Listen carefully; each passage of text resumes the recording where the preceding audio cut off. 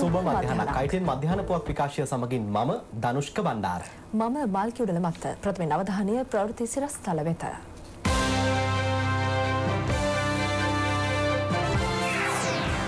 IMF පස්වන වාරිකයත් ලබාදීමට සාකච්ඡා.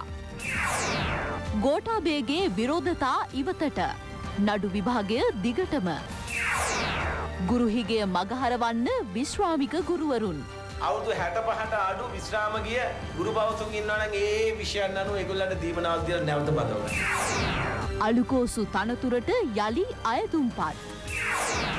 අද සිට දින තුනක් තද සුළං.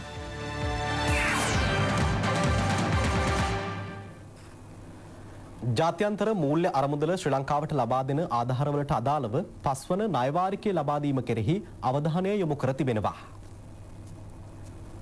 පසුගිය සමයේ සිදු වූ දේශපාලන අර්බුදය නිසා මෙම ණයවාරිකය ලබා දීම කල් දැමුණා. ඇමරිකා ඩොලර් මිලියන 1500ක් පමණ වූ මෙම ණය මුදලින් පස්වන වාරිකය ලබා දීම සම්බන්ධ සාකච්ඡා සඳහා ජාත්‍යන්තර මූල්‍ය අරමුදලේ නියෝජිතින් ලබන සතියේ ශ්‍රී ලංකාවට පැමිණීමට නියමිත බව වාර්තා වනවා.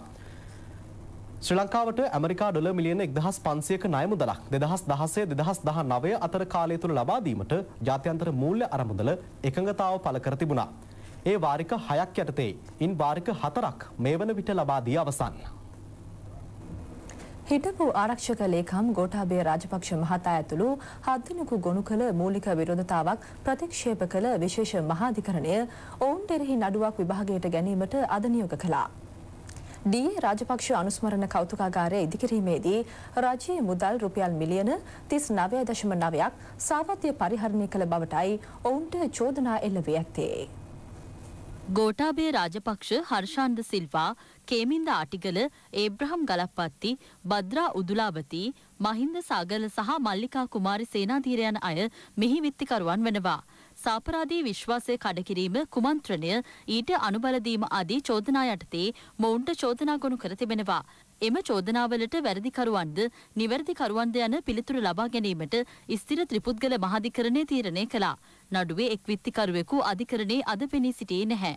සියලුම විත්තිකරුවන්ගේ පිළිතුරු එකවර ලබා ගැනීමට අවශ්‍ය බැවින් නඩුව ලබන විසි දෙවනදා තෙක් කල් තැබුණා. මෙම නඩුව ත්‍රිපුද්ගල මහාධිකරණයේ විභාග කිරීමට බලයක් නොමැති බවට ගොනු කර ඇති චෝදනා විභාග කිරීමට අධිකරණයට බලයක් නොමැති බවට පවසමින් විත්තිකරුවන් මූලික විරෝධතා දෙකක් ඉදිරිපත් කර තිබුණා.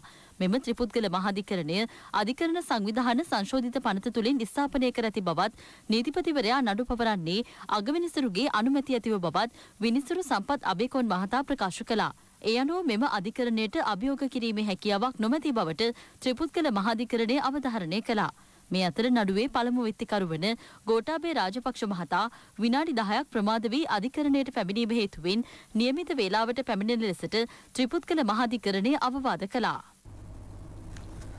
වයස අවුරුදු හැට පහට අඩු විශ්‍රාමික ගුරුවරුන් සේවය යොදවා ගුරු පුරප්පාඩු පිරවීමට කටයුතු කරන බව අමාත්‍ය අකිල විරාජ් කාර්යවසම් මහතා පවසනවා. කුරුණෑකල බමුණාකොටුව පනාදරගම ප්‍රාථමික විද්‍යාලයේ ඉදිකළ ගොඩනැගිලි සංකීර්ණය සෙසු අයිතියට පත් කෙරුණා. ඒ අමාත්‍ය අකිල විරාජ් කාර්යවසම් මහතාගේ ප්‍රධානත්වයෙන් නවීන අංග රැසකින් සමන්විතවයි මෙය ඉදිකර තිබෙන්නේ. මේ සඳහා වැය කළ මුදල රුපියල් ලක්ෂ එකසිය අසුවක්. ජනතා නියෝජිතින් ඇතුළු පිරිසක් මෙම අවස්ථාවට එක්ව සිටියා. මම කිව්වා කැබිනට් පේපර් එක ලෑස්ති කරන්න ලංකාවේම ගුරු හිඟේ තියෙන ඉස්කෝල ටික හොයලා ඒ පාසලේ තියෙන හිඟේ බල්ලි වරලා අවුරුදු 65ට අඩු විශ්‍රාම ගිය ගුරු පවතුන් ඉන්නවා නම් ඒ විෂයන් අනුව ඒගොල්ලන්ට දීමනාවක් දීලා නැවත බදව ගන්න. දැන් 60න් විශ්‍රාම යනවා වෙන්න පුළුවන් 55න් විශ්‍රාම යනවා වෙන්න පුළුවන් පෙන්ෂන් එක හම්බ වෙනවා තව දීමනාවක් දෙනවා දීලා අවුරුදු 65 දක්වා සේවය ගන්න හදන්නේ. මොකද මේ ප්‍රදේශ වලින් එතකොට ඒ ඉස්කෝලේ පුරප්පාඩු දාපුවම ඒ විෂය දාපුවම ඒ ප්‍රදේශය එනවා කොහොමද? අපි අධ්‍යාපනයේ ගොඩක් පසුබෑමට ලක්ුණේ චක්‍රලේඛ ගුරු ව්‍යවස්ථා. අපි ඕවට යට වෙන්න හොඳ නැහැ අපිට කරන්න ඕන එක ප්‍රායෝගිකව කරන්න ඕනේ. ඒ නිසා තමයි මෙච්චර වැඩ ගොඩක් අද කරන්න පුළුවන්කම තවත් අපරාධ කල්ලි නායකයෙකු වන මතුමගේ චන්දන ලසන්ත පෙරේරා හෙවත් අංගොඩ ලොක්කා යන අයද ඩුබයි පොලිසිය මගින් අත්අඩංගුවට ගෙන ඇති බව වාර්තා වනවා. මාකදුරේ මදුෂ තුළු පිරිස අත්අඩංගුවට ගන්නා අවස්ථාවේ අංගොඩ ලොක්කා පලා ගොස් තිබුණා. CCTV කැමරා දර්ශන ඔස්සේ පරීක්ෂණ පැවැත් වූ ඩුබායි පොලිසිය අංගොඩ ලොක්කා ඇතුළු කිහිප දෙනෙකු අත්අඩංගුවට ගෙන ඇති බවයි මාධ්‍ය වාර්තා සඳහන් කරන්නේ. අංගොඩ ලොක්කා යනු මාකදුරේ මදුෂ්ගේ සමීපතම ගෝලයා බවටයි ප්‍රකටව සිටින්නේ. මද්‍රව්‍ය ජාවාරම් සහ ඝාතන කොන්ත්‍රාත් සඳහා අංගොඩ ලොක්කා යන අය මෙරට සිට මදුෂ්ට උදව් කර ඇති බව පරීක්ෂණවලදී හෙළිවුණා. මේ අතර මාකදුරේ මදුෂ ඇතුළු කණ්ඩායම පිළිබඳ මූලික විමර්ශන අවසන් කර ඇති අතර ඔවුන් අධිකරණයට ඉදිරිපත් කරන දිනය තවමත් තීරණය කර නැති බවයි ඩුබායි වාර්තා සඳහන් කරන්නේ. බන්ධනාගාරයේ අලුගෝසු තනතුර සඳහා අයදුම්පත් කැඳවා තිබෙනවා.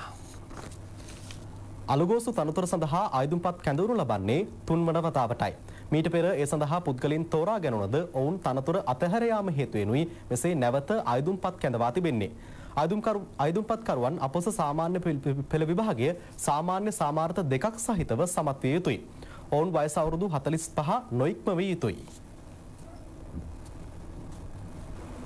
යෝජිත නව ව්‍යවස්ථාවෙන් බුද්ධාගමට බුද්ධා සමාවන්න යෝජිත නව ව්‍යවස්ථාවෙන් බුද්ධාගමට කිසිදු හානියක් සිදු නොවන බව අමාත්‍ය ලක්ෂ්මන් කිරියල්ල මහතා පවසනවා.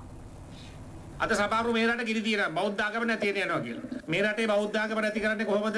කවුරු බලේ හිටියත් අද බෞද්ධ ආණ්ඩුවක් තමයි මේ රටේ තියෙන්නේ. ඉතින් එහෙම බෞද්ධ ආගම විනාශ කරන්න බෑ. අනවශ්‍ය බිය ඇති කරනවා අපේ බෞද්ධ ජනතාව තුළ. අපි අලුත් ව්‍යවස්ථාවක් හදන්න යනවා. මේක සිංහල බෞද්ධ විනාශයට වය. දැන් අපි හදලා තියෙන යෝජනා මාලාවක් විතර. ව්‍යවස්ථාවක් හදලා නැහැ. අපි යෝජනා මාලාව හදලා අපි පාර්ලිමේන්තුවට ඉදිරිපත් කරලා තියෙනවා. විවස්ථාව හදන්නේ පාර්ලිමේන්තුවේ. මන්ත්‍රීවරු එක්ක අහුවෙලා වගන්තිය වගන්තිය අපි රටට ගැලපෙන ආකාරයට සකස් කරනවා. ඒ යෝජනාවල තියෙනවා බෞද්ධ ආගමට තියෙන ප්‍රමුඛ ස්ථානය අපි ලබා දෙනවා කියලා අපි ඉල්ලීමක් කරනවා. මේ ව්‍යායාමයේ ඉදිරියට අරන් යන්න අපිට සියලු දෙනාගේම ආශිර්වාදය සහයෝගය ලබා දෙන්න. මහනුවර හන්තාන සඳකිරි මහසෑයේ සලපතල මළුවට මුල්ගල තැබීමේ උත්සවය අමාත්‍ය ලක්ෂ්මන් කිරියල්ල මහතාගේ ප්‍රධානත්වයෙන් සිදු කෙරුණා. පූජ්‍ය ගගසිරිපුර ධම්මාලෝක ස්වාමින් වහන්සේ සහ මහනුවර නගරාධිපති කේසර සේනානායක මහතා ඇතුළු පිරිසක් මෙම අවස්ථාවට සහභාගී වුණා. හෙරොයින් මත්කුඩු ජාවාරයේ මිදුණු බව කියන කාන්තාවන් තුන්දෙනෙකු අත්අඩංගුවට ගැනීමට පුත්තලම පොලිසියට හැකි වුණා. පොලිස් බුද්ධ්‍යංශ නිලධහරින්ට ලද තොරතුරක් අනුව පුත්තල මූල්ලිකුලම් පාසල අසල බිලිඳෙකු අතැතිව සිටි සැකසහිත කාන්තාවක් පරීක්ෂාවට ලක් කර තිබෙනවා. එහිදී ඇසතුව තිබී හෙරොයින් මිලිග්‍රෑම් දෙදහස් එකසේ හතලිහක් අතර අඩංගු පැකට් තිස් දෙකක් සොයාගැනුණා. මේ අතර තවත් වයසවුරුදු හතලිහක කාන්තාවක් සහ ඇගේ දියණිය බව කියන දහ අටහැවරදි තරුණියක හෙරොයින් ග්‍රෑම් තුන හමාරක් සමග අත්අඩංගුවට ගෙන තිබෙනවා. සැකකරුවන් මුල්ලිපුරම් කොඩානගර ප්‍රදේශයේ පදිංචිකරුවන්. දිවයිනෙන් මද්‍රව්‍ය තුරන් කිරීම සඳහා රජය ගෙන යන වැඩපිළිවෙලට මහා සංඝරත්නය ප්‍රසාදය පළ කරනවා. විශේෂයෙන් ළමා හා තරුණ පරපුර බේරා ගැනීමට ඒ තුළින් අවස්ථාව උදාවන බවයි උන්වහන්සේ පෙන්වා දෙන්නේ. ජනාධිපත්තුමනි මේ සිදු කරගෙන යන විශේෂයෙන් මෙතෙක් මෙතෙක් බිහිවුණ පොලිස් දෙපාර්මේන්තුව භාර අමාත්‍යවරයා හැටියටත් ඒ වගේම රටේ පළවෙනි පුරවැසියා හැටියටත් ඔබතුමාට මේ මද්‍රව්‍ය මේ රටින් තුරන් කරන්නට ඒ නායකත්වය දෙන්නට එවගේම ඒ සඳහා මූලිකත්වය අරගෙන කටයුතු කරන්නට එවගේ මේ සිදු කරගෙන යන සියලු ක්‍රියාදාමයන් ਸਰව ප්‍රකාරයෙන්ම සිද්ධ කරගෙන යන්නට අපි මහා සංඝරත්නය හැටියට අපි අතිගරු ජනාධිපතිතුමන්ට අපි නිරන්තරයෙන් ආශිර්වාද කරනවා. ඉතින් මේ යුගයේදී අපි හුඟක්ම සතුටු වෙනවා අපේ වර්තමාන ජනාධිපතිතුමා ලොකු වැඩපිළිවෙලක් කරගෙන යන බව පේනවා. මේ රටේ මේ ජනතාව විශේෂම දරු પરම්පරාව තරුණ પરම්පරාව මේ මද්ද්‍රව්‍ය ඕදුරින් බේරා ගන්නට. අපි හැම කෙනෙක්ම එකවන්ව ජනාධිපතිතුමා අරගෙන යන මද්ද්‍රව්‍ය දුරලීමේ විශිෂ්ට කාර්යභාරයට අපි එක පැත්තකින් ස්තුතිවන්ත වෙනවා. ජාතියක් විදිහට භික්ෂූන් වහන්සේලා විදිහට අනෙක් පැත්තෙන් එතුමාගේ මේ කරන කටයුත්තට විශාල ශක්තියක් ලබා දෙන්නට ඕන. අමාත්‍ය රවී කරුණානායක හා බස්නාහිර පළාත් ආණ්ඩුකාර අසත් සාලයන මහත්තුරුන් අතර හමුවක් සිදු වුණා. සෑම පුරවැසියෙකුටම තම පදිංචි ස්ථානයට විදුලිය ලබා ගැනීමේ අයිතිය තහවුරු කර දී ඇති බව අමාත්‍ය රවී කරුණානායක මහතා මාධ්‍ය හමුවේ ප්‍රකාශ කළා. බස්නාහිර පළාත් ආණ්ඩුකාර අසත් සාලි මහතාද මෙහිදී අදහස් පළ කළා.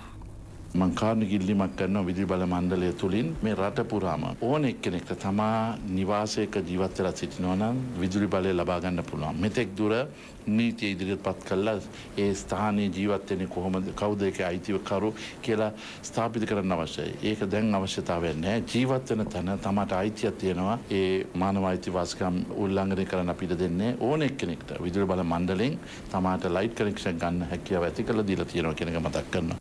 මගේ ප්‍රතිපත්තිය තමයි මම කියලා තියෙන්නේ පාර තියෙන්නේ වාහනයන්ට පේමන්ට් එක තියෙන්නේ ජනතාවට යන්න. ඒ දෙකේ කවුරු හරි ඉන්නවා නම් ඒවා කඩා ඉවත් කරන්න උපදෙස් දීලා අද මේ වෙනකොට චීෆ් සෙක්‍රටරි ලියුම් යවලා සියලුම නගර සභාවලට ප්‍රාදේශීය සභාවලට ඒගොල්ලන් මේ වෙනකොට දැන් කෙතරම ගිහලා බලන්න හැම කඩේම නෝටිස් අලවලා ඉවරයි. ඒ කියන්නේ වැඩ පටන් ගන්න එන සුමාන වෙනකොට සියලු දේ ඉවත් කරුවේ නැත්නම් කඩා ඉවත් කරන්න කටයුතු කරනවා. කිසිදු බියකින් තොරව බඩඉරිංගු වගා කරන ලෙස කෘෂිකර්ම දෙපාර්තමේන්තුව ගොවීන්ගෙන් ඉල්ලා සිටිනවා. සේනා දළඹුවදුර හේතුවෙන් බඩිරිඟු වගාවට හානි පැමිණුණා. ඒ හේතුවෙන් බොහෝ ගොවීන් බඩිරිඟු වගාවෙන් ඈත්වන තත්ත්වයක් දක්නට ලැබෙනවා. එහෙත් සේනා දළඹුවාගෙන් හානි පැමිණුණේ පසුගිය කන්නේ වගා කළ බඩිරිඟු හෙක්ටයාර අසූ දෙදහසින් සේකට පහකටත් අඩු ප්‍රමාණයකට බව කෘෂිකර්ම නිලධාරීන් පවසනවා. සේනා දළඹු මර්ධනය පිළිබඳව ගන්නෝරුව කෘෂිකර්ම තොරතුරු මධ්‍යස්ථානයේ පැවති සාකච්ඡාවකදී මේ බව අවධාරණය කෙරුණා. කෘෂිකර්ම දෙපාර්තමේන්තුවේ උපදෙස් පරිදි නියමිත කාලයේදී බඩිරිඟු වගා කිරීමෙන් හානිය අවම කරගත හැකි බව එම දෙපාර්තමේන්තුවේ ව්‍යාපෘති හා පුහුණු අධ්‍යක්ෂ කේබී ගුණරත්න මහතා පවසනවා. සේනා දළඹුව ඉතාමත්ම සාර්ථක ලෙස මර්ධනය කරගෙන තිබෙනවා. ඒ නිසා දෙදස් දහනවේ යල්කන්නේද ගොවි මහත්තුන්ගේ ඉල්ලා සිටින්නේ බයෙන් සැකයකින් තොරව බලේරු ගගාව යල්කන්නේ ආරම්භ කරන්න කියලා. අපි දෙදස් දහනවේ මැයි මාසේ පළවෙනිදා ආරම්භ කරලා යල්කන්නේ බලේරු ගගාව සති දෙකක් ඇතුළත සම්පූර්ණයෙන්ම වගා කරලා ඉවර කිරීම සඳහා තීරණය කරා. මේ සඳහා එක දිනයක එකම ආකාරයට බලේරු වගා කරාම මේ සතාගේ හානිය ආවම කරගන්න පුළුවන්. බලේරු පේලිය අතර සෙන්ටිමීටර් 120ක් එහෙම නැත්නම් අඩි හතරක පරතරයක් තියන්න ඕන. ඒ වගේම සෙන්ටිමීටර් 45ක් 30ක් අතර ප්‍රමාණයක් පැල අතර පරතරය තියන්න ඕන. උපදෙස් දෙනවා සතියෙන් සතියට නිරන්තර පරීක්ෂාවක ඉන්න කියලා. දිවයින පුරා සිදු කෙරෙන සංවර්ධන වැඩසටහන් රැසක තොරතුරු සංවර්ධන පුවත් විශේෂාංගෙන්.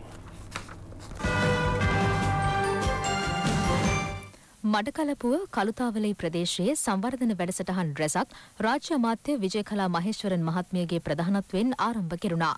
කළුතාවලේ සුවමි පුලිංක පිල්ලයාර් හින්දු දේවස්ථානය අසල අබලන් තත්ත්වයේ පැවති මාර්ගය රුපියල් එක් කෝටි විසිදහසකට ආසන්න මුදලක් යොදවමිනුයි සංවර්ධනය කෙරුණේ. එම මාර්ගය සංවර්ධනය කිරීම තුළින් විශාල පිරිසකට සෙත සැලසෙනවා. කළුතාවලේ විදුහල ජාතික පාසලක් ලෙස උසස් කිරීමේ නාම පුවරුදු විර්ත කෙරුණේ රාජ්‍ය අමාත්‍යවරයාතෙන්. එම පාසලට අඩුපාඩුවක්ව පවතින නව ක්‍රීඩා ගොඩනැගිල්ලක් ඉදිකිරීමේ කටයුතුද මෙහිදී ආරම්භ කෙරුණා. රුපියල් බිලියන එකයි දශම අටක වියදමින් ඉදිකෙරෙන අවිත්තාව ලෙව්වන් දුව මාර්ගයේ ඉදිකිරීම් කටයුතු මේ වන විට අවසන් වෙමින් පවතිනවා. මාර්ගයේ කිලෝමීටර් දහතුනක ප්‍රමාණයක් කාපට් යොදා සංවර්ධනය කිරීමටයි කටයුතු කෙරෙන්නේ. මාර්ගය ඉදිකරදීම සම්බන්ධයෙන් ප්‍රදේශවාසීන් රජයට සිය ප්‍රසාදය පළ කරනවා. ලෙව්වන් දූ සිට අවිත්තාවට පාර සෑදීම ඉතාම හොඳයි. ඒ ගැන අපි හරි සන්තෝෂ වෙනවා. ඒ කරදීම ගැන රජයට ඉතාම ස්තුති වන්තයි. දැන් ඉතින් පාර හදලා තිනම රජයට ගොඩාක් ස්තුතිවන්ත වෙනවා මේ වගේ ගමන් පාස්කම් ඇති වුණාම. දෙහියෝ විට කලේවාසී දෙමළ විද්‍යාලයේ නව දෙමහල් ගොඩනැගිලි සංකීර්ණයේ ඉදිකිරීම ආරම්භ කෙරුණා. ඒ සබරගමුව පළාත් ආණ්ඩුකාර ධම්ම දිසානායක මහතාගේ ප්‍රධානත්වයෙන්. නවීන අංග රැසකින් මෙය සමන්විතයි. මේ සඳහා වැෑකිරෙන මුදල රුපියල් ලක්ෂ දෙසිය දහයක්. ජනතා නියෝජිතින් ඇතුළු පිරිසක් මෙම අවස්ථාවට එක්ව සිටියා. ගම්පෙරලිය සංවර්ධන වැඩසටහන යටතේ ඉදිකෙරෙන රත්නපුර ශ්‍රීපාද රාජමාවතේ ශ්‍රී පලාබද්දල නගරේ නව දෙමහල් විශ්‍රාම ශාලාවේ ඉදිකිරීම් නිරීක්ෂණය සඳහා එක්සත් ජාතික පක්ෂ පාර්ලිමේන්තු මන්ත්‍රී ඒ ඒ විජයතුංග මහතා එක්වුණා. රුපියල් කෝටි හතරක වියදමින් යුතුවයි මෙය ඉදිකෙරෙන්නේ. ශ්‍රීපාද වන්දනාවේ යෙදෙන බැතිමතුන් සඳහා නවීන අංගෝපාංග රැසකින් මෙය සමන්විතයි. රත්නපුර අමුණාගොඩ ප්‍රදේශයේදි කළ බහුකාර්ය ගොඩනැගිල්ලද පාර්ලිමේන්තු මන්ත්‍රී ඒ ඒ විජයතුංග මහතාගේ ප්‍රධානත්වයෙන් විවෘත කෙරුණා. මාතෘ හා ළමා සායනයක්ද මීට ඇතුළත්. අමුණාගොඩ සහ වීරගොඩ ප්‍රදේශවල විශාල පිරිසකට මෙමකින් සෙත සැලසෙනවා. මේ අතර රත්නපුර කහන්ගම කොස්කලවත්ත මාර්ගයේද ජනතා හිතපත් කෙරුණේ පාර්ලිමේන්තු මන්ත්‍රී ඒ ඒ විජයතුංග මහතාගේ ප්‍රධානත්වයෙන් රුපියල් ලක්ෂ පහක වේදමින් මාර්ගය කොන්ක්‍රීට් අතුරා සංවර්ධනය කෙරුණා. රුපියල් ලක්ෂ හාරසි අනුවක වියදමින් මතුගම කුරුදිප්පිට මාර්ගය කාපට් අතුරා සංවර්ධනය කෙරුණා. එය ජනතා අයිතීට පත් කිරීම මතුගම එක්සත් ජාතික පක්ෂ ප්‍රධාන සංවිධායක පළාත් සභා මන්ත්‍රී ජගත් විතාන මහතාගේ ප්‍රධානත්වයෙන් සිදු කෙරුණා. වලගෙදර මන්සන්දියේ සිට කිලෝමීටර් තුනක ප්‍රමාණයක් මේ යටතේ සංවර්ධනය කෙරෙනවා. එය මාර්ග සංඥා හා කානු පද්ධතියකින්ද සමන්විතයි. මධ්‍යම පලාත තුළ ක්‍රියාත්මක පිවිතුරු හරිත නගර වැඩසටහන හාරිස්පත්තුව පූජාපිටිය නගරයේදී ආරම්භ කෙරුණා. ඒ මධ්‍යම පලාත් ආණ්ඩුකාර මෛත්‍රී ගුණරත්න මහතාගේ ප්‍රධානත්වයෙන්. පූජාපිටිය ප්‍රාදේශීය සභා සභාපති අන්ඩ ප්‍රනාන්දු ප්‍රාදේශීය ලේකම් මංජුලා මාඩාපොල යන මහත්ම මහත්මින් ඇතුළු පිරිසක් මෙම අවස්ථාවට එක්ව සිටියා. මෙවර උතුරින් සාර්ථක වියස්වන්නක් ලැබී ඇති බව වාර්තා වනවා. මාස් කන්නේ මුල්ලතිව් දිස්ත්‍රික්කයේ පමණක් අක්කර තිස් අටදහසක වී වගා කර තිබෙනවා. ප්‍රදේශයේ සියලුම කුඹුරු මෙවර වගා කෙරුණේ කන්න තුනකට පසුවීම විශේෂත්වයක්. මීට පෙර ප්‍රමාණවත් වර්ෂාවක් නොලැබීම නිසා කුඹුරු වගාවට බාධා පැමිණුණා. මුලතිව් දිස්ත්‍රික්කයේ මාස් කණ්ඩයේ වී අස්වනු නෙලීම මේ දිනවල සිදු කරනවා. දිවයින හරහා සහ දිවයින අවට මුහුදු ප්‍රදේශවල සුළඟේ වේගය අද රාත්‍රියේ සිට වැඩිවීමක් බලාපොරොත්තු වන බව කාලගුණ විද්‍යා දෙපාර්තමේන්තුව පවසනවා. සුළඟේ වේගය පැයට කිලෝමීටර් 60ත් 65ක් දක්වා වැඩි විය හැකි බැවින් දිවර හා නාවික ප්‍රජාවට අවධානයෙන් කටයුතු කරන ලෙසද දැනුම් දෙනවා. දිවෙන හරහා සහ දිවෙනාවට මුහුදු ප්‍රදේශවල ඉදිරි දින කිහිපයේදී විශේෂයෙන්ම අද රාත්‍රී සිට පෙබරවාරි 13 වනදා දක්වා සුළඟේ වේගයේ වැඩිවීමක් බලාපොරොත්තු වෙන්න පුළුවන්. ඒ අනුව දිවෙන හරහා සුළඟේ වේගය විටින් විට පැයට කිලෝමීටර් 50 සිට 55 පමණ දක්වා වැඩි වෙන්න පුළුවන්. අද දිනේදී නැගෙනහිර මධ්‍යම සහ ඌව පළාත්වල සහ හම්බන්තොට දිස්ත්‍රික්කයේ වැසිවර කිහිපයක් ඇතිවීමේ හැකියාව පවතිනවා. රත්නපුර ගාල්ල සහ මාතර දිස්ත්‍රික්කවල ස්ථාන ස්වල්පයක දවස් දෙකෙන් පමණ පසුව වැසියෝ ගිගුරුම් සහිත වැසි ඇතිවීමේ හැකියාව පවතිනවා. දැන් පුවත් කිහිපයක් ලොහුඬෙන්. ඌ වෙල්ලස්ස සටනට වසර දෙසීයක් පිරීම නිමිත්තෙන් උපහාර පූජාවක් පැවැත්වුණා. ඒ දඹදෙනිය කෞඩුමුන්න රජමහා විහාරස්ථානයේදී. කෞඩුමුන්න රජමහා විහාරාධිපති පූජ්‍ය ගින්නලියේ ආයුපාල ස්වාමින් වහන්සේගේ මඟ පෙන්වීමෙන් විහාරස්ථ දායක සභාව සහ බුජ්ජොමුව දුම්රිය ස්ථාන බෝසත් සමාජ සත්කාරක පදනම එක්වයි මෙය සංවිධාන කර තිබුණේ. ශ්‍රී ලංකා පොදුජන පෙරමුණේ පළාත් සභා මන්ත්‍රී සංසදය මාධ්‍ය හමුවක් ඇඳවා තිබුණා. ඒ බත්තර මුල්ල නෙළුම්මාවත පිහිටි එම පෙරමුණේ ප්‍රධාන කාර්යාලයේදී. පළාත් සභා මන්ත්‍රී සංසදයේ ලේකම් ලලිත් එල්ලාවල ජගත් කුමාර යන පළාත් සභා මන්ත්‍රීවරුන් පිරිසක් මේ සඳහා එක්ව සිටියා. ඒත් සමගින් 19 මධ්‍යහන පුවත් විකාශය නිමාවට පත්වනවා. පසුරු දෙකේ සිට පැන් පැපුවත් විකාශය බලාපොරොත්තු වන්න. සුබ දවසක්. www.itnnews.lk